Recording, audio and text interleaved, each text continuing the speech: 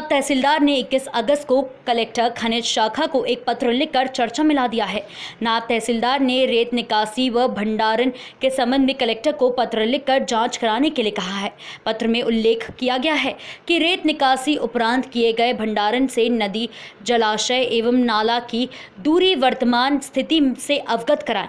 बताया जा रहा है कि कांग्रेस कमेटी पिछड़ा वर्ग महिला कोष्ठ जिलाध्यक्ष अन्नू पटेल ने रेत निकासी उपरांत भंडारण से नदी जलाशय एवं नाला की दूरी की वर्तमान स्थिति से अवगत कराने जाने संबंधी जानकारी मांगी है। कांग्रेस पिछड़ा वर्ग महिला प्रकोष्ठ की जिलाध्यक्ष के पत्र का हवाला देकर नायब तहसीलदार ने कलेक्टर खनिज शाखा को विधिवत पत्र लिखते हुए आदेशित किया है कि दिनांक 26 अगस्त को उपरोक्त जानकारी के संबंध में हल्का पटवारी के साथ संयुक्त जाँच कर प्रतिवेदन प्रस्तुत करें।